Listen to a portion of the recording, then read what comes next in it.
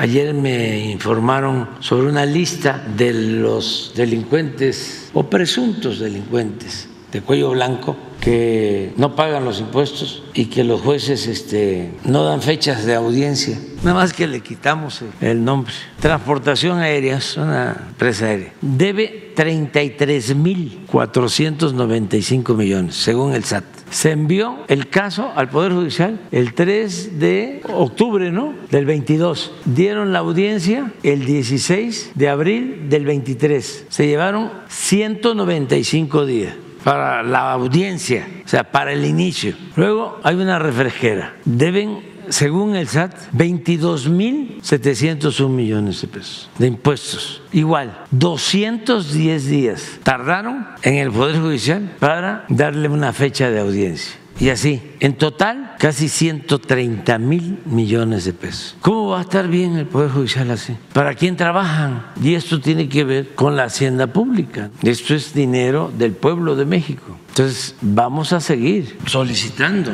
al Poder Judicial que resuelva esto.